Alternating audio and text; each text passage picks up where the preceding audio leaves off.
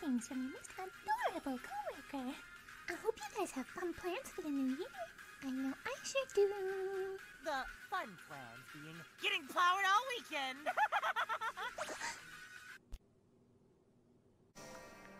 Would either of you care to explain yourselves?